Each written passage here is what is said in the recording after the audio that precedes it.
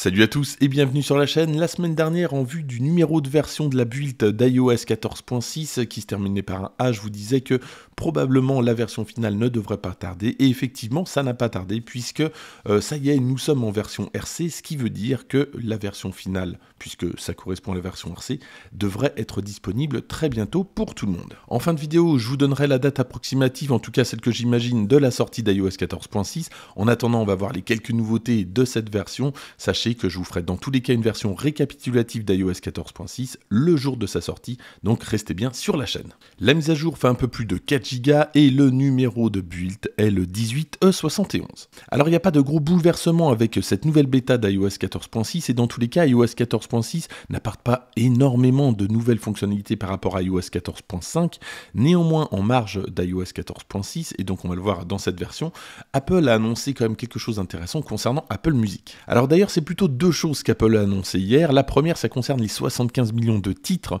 qui seront disponibles en lossless, en qualité CD, alors 16 bits 44 kHz, ou même en 24 bits 48 kHz, ou pour les audiophiles 24 bits, 192 kHz. Alors là, par contre, il faudra un DAC euh, pour l'utiliser. Et puis la seconde chose, c'est beaucoup plus confidentiel, ça concerne l'audio spatial. Alors là, c'est simplement un millier de titres, je crois, au début. Alors ça viendra peut-être après.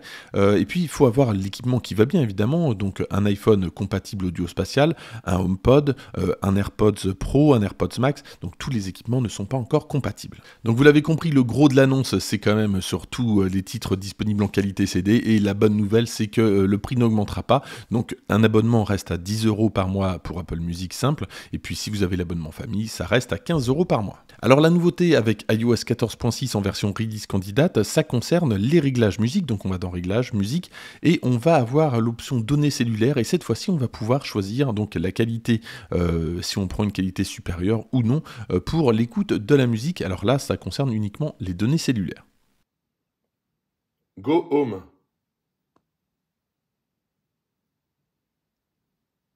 Tap 0. Tap 0. Tap alors vous l'avez compris avec cet incroyable accent, euh, donc là je suis dans contrôle vocal et la nouveauté d'iOS 14.6 permet aux utilisateurs de contrôle vocal, je précise que c'est toujours pas disponible en français, d'utiliser le contrôle vocal directement pour taper euh, bah, le code. Ça, ça peut être pratique dans certains cas de pouvoir taper le code directement à la voix. Autre nouveauté, ça concerne l'application TV. Alors lorsqu'on va lancer l'application, on va avoir une petite pancarte qui va nous expliquer que, euh, bon, côté nouveauté, on a donc euh, Apple Originals et puis la possibilité de souscrire à des abonnements à plusieurs chaînes. Alors ça dépend évidemment des pays euh, et donc on va pouvoir les partager avec six personnes de la même famille. Et à propos d'Apple TV Plus, n'hésitez surtout pas à me dire dans les commentaires ce que vous pensez du service. Moi, pour l'instant, je suis toujours pas convaincu de ce qu'il y a dedans.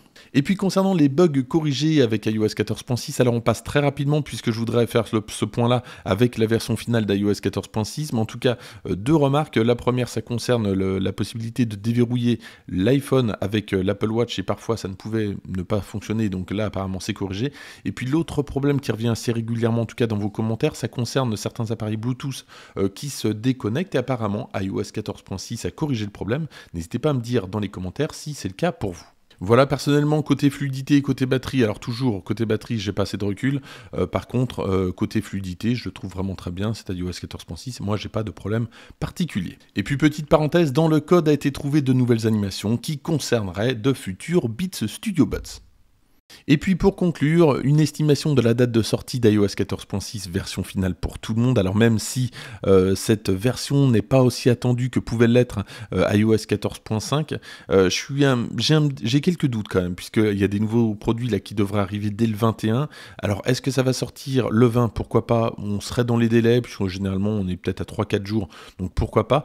Je pense quand même que c'est plus vers la semaine prochaine qu'on devrait avoir une version finale d'iOS 14.6 euh, donc pour tout le monde. En tout cas, je vous tiens au courant et puis dès la sortie d'iOS 14.6, euh, il y aura la vidéo récapitulative de toutes les nouvelles fonctionnalités.